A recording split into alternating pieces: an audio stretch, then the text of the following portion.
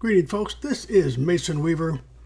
I'm the founder of Raunchy Secrets Only Wives Should Know. I know the name shocked some of you, but it shouldn't. Marriage is what it is. It is a sexual relationship between a man and a woman. That is the only reason that we need to get married. Uh, we can have relationships with women and each other. We can have friendships. We can have partnerships.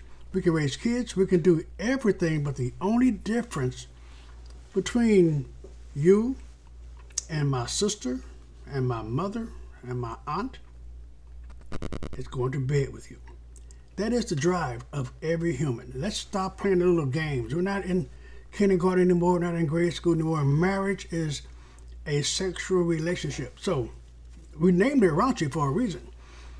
Uh, you know, I was married for 35 years to the world's most beautiful, sexiest female on this planet. I was with her 45 years. I'm now 72 years old. So I have been with this lady half my life, almost to the day, half my life. We are married almost half my life to the day, four days away from half my life. And had a great marriage, a great relationship with this female that God made for the goodness of man. So that relationship, the history of, of that, how I met her, how I got her attention, how I got her to marry me, how we got along and built a great relationship uh, was part of my business. We, we did lectures on this and we thought about this. Men and women are different, we had to approach this in a different way. And it was successful for us. We built a great, loving relationship so that I considered an honor to sit by her bed and watch her pass away. It was an honor to take care of her for two and a half years while she slowly died. And it was a lifetime of living with her when she was ill most of our lives. So the process wasn't the fun and the games. I began to realize if you talk to anyone about any subject that they're successful at, that person will start telling the things they overcame, not the good times. You just ask somebody how they've been married 60 years. They start telling you the overcoming. How you get a successful business. They start telling you the drama they had in their life. So I'm here to make, make a suggestion that maybe it's not to avoid the bad things, it's to learn from the bad things because it makes the whatever it is better. Crap in your life is fertilizer, and fertilizer makes things grow. You know, you, you get things cut off of you. You get you lose things. You, you you're stressed out because you lose things cut off. A, a, a prune bush grows better because it has to recover from the cutting. That's why we have to look at life full of crap, but crap is fertilizer, and fertilizer makes things grow. So if you judge your life by who did you wrong, you're going to always be done wrong. Yes, men and women fight, argue, scheme, steal, break, and use each other because we're humans. But you cannot let the X affect the next. We have to prepare ourselves for a loving relationship. So I've been single now for years, a couple of years now. And I'm dating. I'm meeting young ladies. Oh, not young. You know, I'm 72, so you're gonna be past menopause. Just that's a personal it's a personal thing for me. So I uh my camera told me I need more light, and I understand. I just didn't want to bring the natural light into the place from the outside, but okay, it's a little better probably. Maybe a little shadow on the side. You know, I'm trying to trying to do things right. I just don't want that light. I hate that light. So we first off understand this is supposed to be easy. This was designed to be easy. This dating stuff was organized and planned by God to be easy. God looked at man. If you're not a Christian, this video will not be for you because everything I do is Christ based, okay? So deal with it.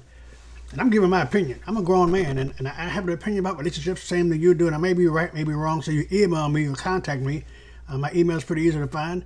Um, it's, it's going to be a hard time to avoid hurting people's feelings. So let's just talk bluntly about what's going on here. God looked at man and said, It is not good. Therefore, if God said it's not good, it's not good. We got to play. It's not good for man to be alone. Man needs, a for own good, God formed. God formed. It was your form that God thought about man's goodness. That's why, ladies, I admit, we are crazy about your farm. It is made by God for our goodness, does you no good at all. And we seek it. The drive to obtain it is the biggest drive in men's lives. Got it. We got it, ladies. We got it. Understand. And you don't think about sex like we think about sex because we have a sexual drive, we have a sexual desire, and it's just something you do. Just like we don't care about your career and about what blouse, color blouse you have on, and how pretty your doggone shoes are. We don't care. We pretend like we care because basically men give you attention to get the sex, and you give attention, you, you give sex to get the attention. It is a compromise. We're both getting what we want, but none of us are getting what we need. Let's discuss the need.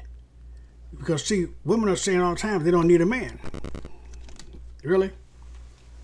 Well, ladies, if you don't need a man, why would a man need you? I want a female that does not need a man. I'm a man.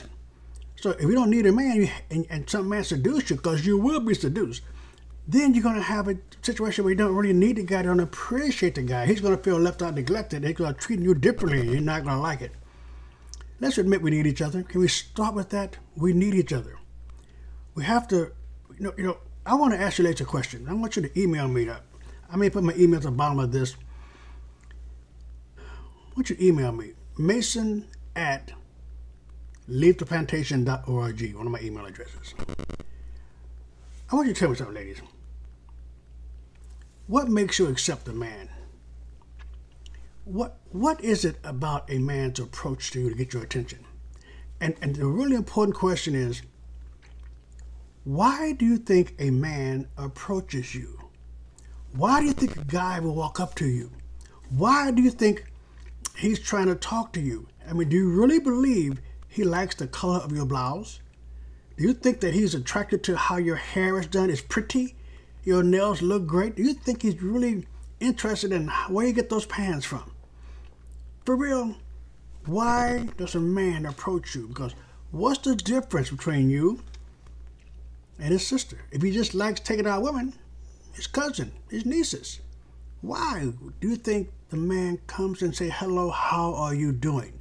What do you think he wants? You think that men actually sit around and try to be friends with women? What do we have in common? I mean, think, what do we have in common? Don't look at how you want it to be. Why do men come up to you and approach you or look at you and smile at you? Are we trying to see how good your makeup look? You think that you're pretty? That word pretty is a made up word. It's a made up word by women who don't want to be called sexy. Oh, you're pretty. Yeah, you're sexy. That's what you are. So let's understand that. See if we can recognize that. And it's okay. You are formed to be beautiful. You're made to be beautiful. It doesn't matter what makeup you put on, how you do your hair, what lipstick you put on. It does not matter. It matters to your girlfriends because you're competing. It doesn't matter to the man. So I want to know. Email me. Send a message here. What is it? Why do you think a man approach you? Second question is, why that some men you accept and some men you reject?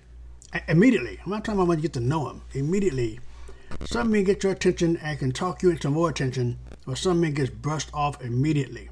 What is it? Because I want to ask you, what are you looking for in a man? If you are seeking a, a husband right now, why are you seeking a husband? What is the purpose of you looking, seeking, wanting, waiting, preparing yourself for a husband? And you women who say you don't need a man, this is not about you. You got what you want already, I'm sure. If you don't want a man, I'm sure you don't have a man. So you can stop bragging about not needing a man.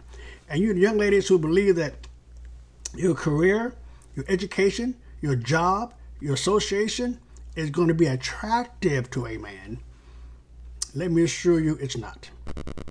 It's not unattractive either but we don't really we don't really care. Uh, we're not looking for a business merger. We're not. And you having a job is like caring what color blouse you wear. I like the blouse. It doesn't. Okay, you got a blouse. It, we're not looking. I think that women are trying to become the men that they want. You want a man with a great career. You want a man that's educated. You want a man that's smart. So you come out, you get your degrees, you get your business, get your position in, in, in, in the corporate letter, and you want a man to recognize that. And you think that if a man sees you possessing the same qualities that he has, he'll think it's a good match. We'd be a great partnership. Yeah, because I want a woman on the battlefield with me. In general, ladies, it's not true. We, we're not impressed. We don't care one way or another. It's not like we think it's negative. Your business career, I mean, I'm not excited about having to go to another man to ask for your time off that you can go out with me or go to a to a trip with me. Uh, your, your job is really more important to me because you can't miss that job. You got to get down there for that meeting. But I know that 30 years from now, well, I'm old now, maybe 10 years from now, you won't know none of their names at the office. It's going to be you and I. The kids will be gone. The kids will be grown. Grandkids are grown. It's going to be you and I.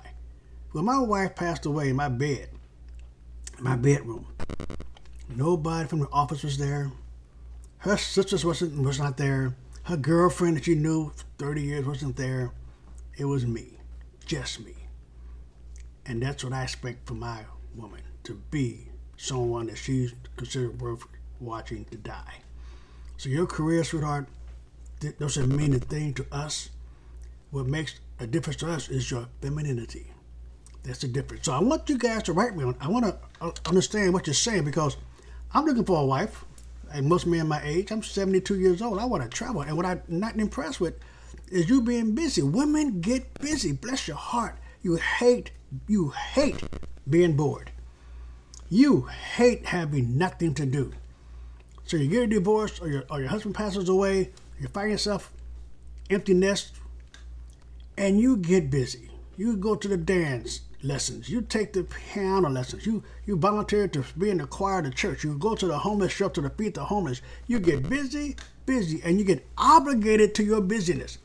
You get obligated. So when a good guy comes along and he says, "Hey, can we go to dinner?" Well, I got to go down here to feed the homeless at the homeless shelter. Uh, I gotta make sure I go to church, get that choir ready for Sunday morning. Uh, blah blah blah. Guess what? Dude gonna find somebody that's free. Dude, I'm not. I'm not gonna sit and wait for you to finish up cleaning up what you're doing at your job somewhere. I'm 72. You should be free. If you're not free, you gotta go someplace else. I'm not going to wait. I don't care how beautiful you are. I don't care how wonderful you are to be with. I'm not to submit myself waiting because you're so doggone busy. The Bible says that a, a bridesmaid prepare herself for the groom. Are you prepared for the groom? Ladies, if you're single, your husband is already living on planet Earth. Your husband is already here. Your husband is also seeking you. Men are hunters. Some men seeks to play and to prey. Prey on you, not pray for you. Not pray over you. Prey on you, not pray, not pray over you. And some men are seeking the relationship. Some are seeking the marriage. And there is a difference between the men. If you go to me on coach.clarenceamason.com, I may be able to talk to you about the difference and how to prepare yourself and put you in a place where men looking for wives can show up. Because ladies, you are the you're the you're the flower. You're stuck in the ground. You're planted somewhere. And where you're stuck in the ground, it will determine what comes to pollinate with you. The beauty you're putting out will attract the bee, the wasp, the hummingbird, you need to determine what you're looking for and what you want to find you and present yourself ready to be found. You cannot. I had a woman told me, she, I'm going to get married in two years. You have no idea when you're going to get married. You cannot determine, but men can. Men can determine. Right now, you know, it's easier for a man to find a wife than a woman to find a husband. It's easier for a woman to find a boyfriend than men to find a girlfriend. See, it's easier because men are hunters and we will find what we want. We'll make it work for you. We do all the things for you to make it work. But is it worth your time? You will not know. You will not know unless you do two things. You either ask very hard questions up front, make that first couple of dates an interrogation of this dude, you find out later on, three, four months when you fall in love with the guy, can't get out of the relationship. If you're dating a guy, as soon as you meet this dude, you start asking very hard questions. You start asking pointed Interview questions. Have you ever been arrested? Have you been known to beat a woman? Have you cheated on somebody? How many babies you got out here? Ask those questions. Do you have a stable income? Do you live with your mother and father? Ask those questions up front the first 15 minutes talk to a guy. Here's why. I know you think, but I don't want to sound like I'm, I'm rude and pushy. Uh, just wait and see how it goes. If you wait and see how it goes, sweetheart, it's going to go nowhere. Because she's going to seduce you. You're made to be seduced. If you wait to see how it goes, he will seduce you. So you need to ask the very hard questions because good guys want to brag to you about what they've done. Good guys want to let you know I'm a stable, good dude. Bad guys start getting defensive. They start saying, well, why are you asking all these personal questions? Why are you getting all my business like this? That is your clue. That's your hint. And get about your business. Second thing you should be doing is have a good man in your life that loves you and does not want to make love to you. Could be uncle, daddy, cousins. It could be your, your best friend's great husband. And your first date, young ladies. Listen to listen to grandpa now. Your first date should be a double date with your girlfriend and her husband, or your uncle and his wife, or somebody that you trust and knows a good wise man, and let him read this dude on your first date before you fall in love. And he can't sit down and tell you, play no game on you. He can't sit down and lie to you. He's got Mister sitting here who can read all the lies because we all know the playbook. It, it's worked for thousands of years. The playbook works on you. So find out if you can do that, and then let your girlfriend's man or the dude in your life tell you when it's over if the guy's any good and believe the guy talking to you. My discussions with ladies over this came about right after my wife passed away. This is this is this is Brenda. Uh, her, her first bout with cancer, she wrote this book, Goosebumps. You can't see the writing on here, but Goosebumps was a poetry book when she got her first bout of cancer and it's Goosebumps inspirational courage and fear. She faced this like a warrior. This woman faced this cancer. Her family only died of cancer. She lost a sister, uh, two cousins, her mother, two nieces. She lost every member of her family only died of cancer. So when she caught cancer in 2004, she didn't care. She was not going to be afraid. She wrote this book as she laid in, in, in chemo. She became the first person in the family to survive cancer. And they had a very aggressive approach. So I'm going to give this book away to everyone who orders Raunchy Secrets Only Wives Should Know. This book is made from discussion I had with women. You can find it at the website God Commands with an S Sex. God commands sex. He told Adam and Eve to go out and, and be fruitful and multiply the earth he wants you to get busy. Wants you get down. It is the, it is the common ground between men and women, and you better understand your role in that. So, the raunchy secrets only wives should know at GodCommandsSex.com. You get a free copy of Brenda's book, Goosebumps. And the, the, conversation came about when her girlfriends and friends of mine started calling me after her death to ask me how did we have such a great marriage. It was really great marriage. I am not looking for another Brenda. She was unique like every one of you ladies. Unique. What I am looking for is joy, uh, a Christian, conservative, Republican woman. Uh, I prefer a widow because you've gone through that, like I've gone through that, and you've had a good marriage, and that you're looking for the same thing. But I would I would talk to any ladies that's, that's past menopause. I ain't doing that twice. so I want to and the second question I have here: Why do you, why why why do men approach you, ladies? What are we looking for? I mean, really, you gotta think about that. Why? Because women think that men come up to you because they they just like female company. Are you kidding me? No, no.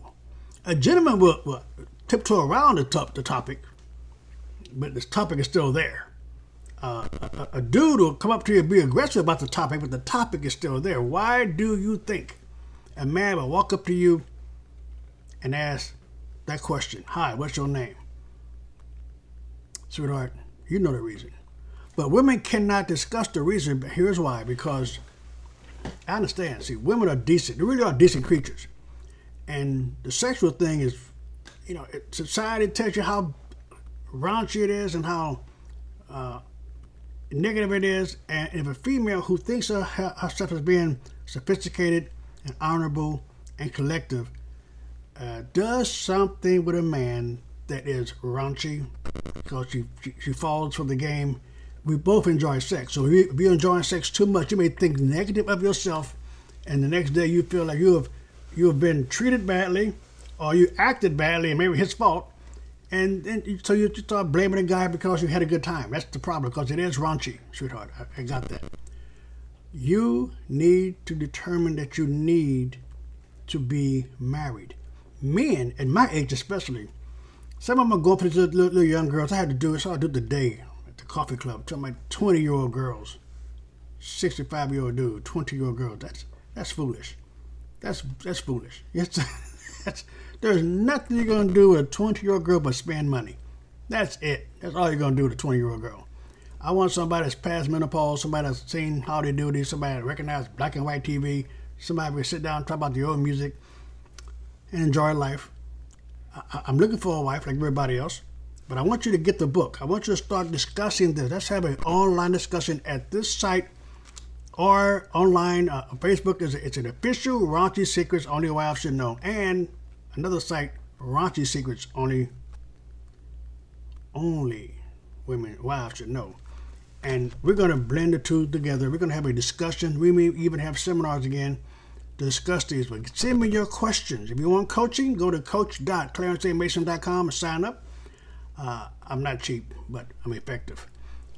Uh, but I want to sit on. A, I want your. I want your emails. I want you. I want you to send me your questions.